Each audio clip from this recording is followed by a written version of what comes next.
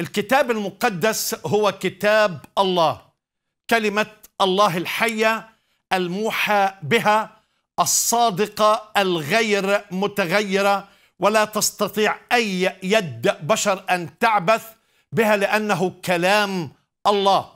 وكل من لا يؤمن بهذا الشيء فهو محروم من نعمة الرب.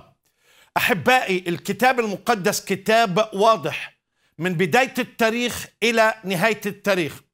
وإلى يومنا هذا عم نشوف التسلسل في الأحداث تتم بطريقة متناسقة متناغمة بسلطان إلهي وسيادة إلهية لأنه مكتوب أنه الله ساهر على كلمته ليجريها وأنه لا تسقط كلمة واحدة من كلام الرب.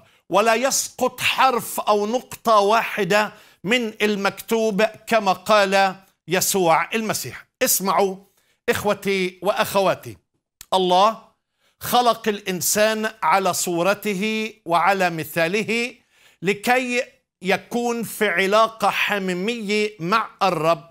فالله يعني يعتبر الإنسان التحفة التاج جمال الخليقة.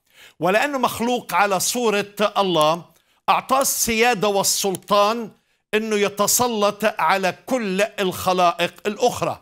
فالإنسان مخلوق عاقل متميز له الصورة الروحية والأدبية على صورة الله موضوع محبة الله موضوع عناية واهتمام الله وبالحقيقة موضوع الفداء حتى لو ما استوعبنا هذه الفكرة أنه الفداء اللي كان مدبر في فكر الله قبل الأزل.